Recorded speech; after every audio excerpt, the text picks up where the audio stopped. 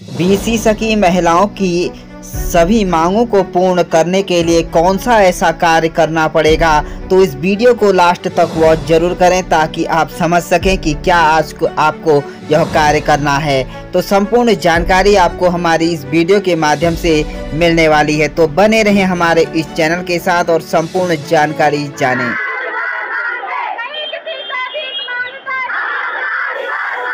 नहीं किसी से भीख मांगते इसी साकी जिंदाबाद इसी साकी जिंदाबाद इसी साकी जिंदाबाद इसी साकी जिंदाबाद इसी साकी जिंदाबाद नारी शक्ति जिंदाबाद नारी शक्ति जिंदाबाद नारी शक्ति जिंदाबाद नारी मांगे पूरी करो नारी मांगे पूरी करो नारी मांगे पूरी करो नारी मांगे पूरी करो नारी मांगे पूरी करो भारत की नारी है भूल नहीं बीमारी है भारत की नारी है भूल नहीं बीमारी है भारत की नारी है भूल नहीं बीमारी है हम अपना अधिकार मांगते हम अपना अधिकार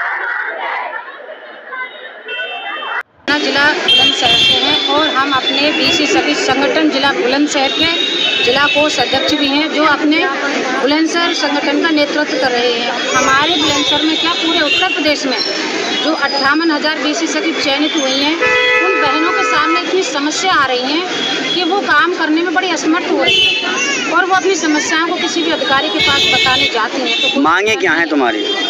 हमारी मांगे ये है कि जो हमें सरकार से पहली मांग पचहत्तर हज़ार रुपये मिले हैं वो माफ़ किए जाएँ। और हमारा मानदेय छः हज़ार रुपये परमानेंट किया जाए। हमको राष्ट्रीयकृत बैंकों से जोड़ा जाए। हमको एक लाख का हेल्थ बीमा सुरक्षा वो भी मिलना चाहिए। बीस लाख का दुर्घटना बीमा मिलना चाहिए।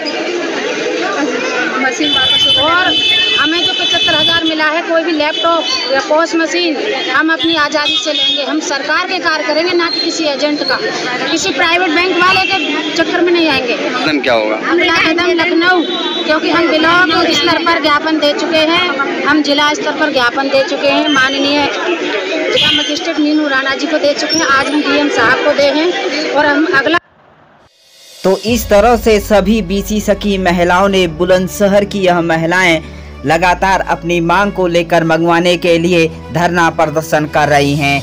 तो जो मांगे बीसी सकी महिलाओं की सरकार अभी तक मानने को तैयार नहीं है, सरकार के समक्ष जो चुनौतियाँ बनी हुई हैं, लगातार यही धरना प्रदर्शन बनाए रखें, ताकि जो बीसी सकी महिलाओं की समस्याएँ हैं, वह सरकार जल्द ही पूर्ण कर सके। तो इस वीडियो को ज़्यादा से ज़्यादा शेयर करें, लाइक करें और यूट्यूब और अन्य सभी ऐपों पर इस वीडियो को ज़्यादा से शेयर करें ताकि बीसी सकी महिलाओं की संपूर्ण मांग पूर्ण हो सके। तो thank you dear friends bye bye take care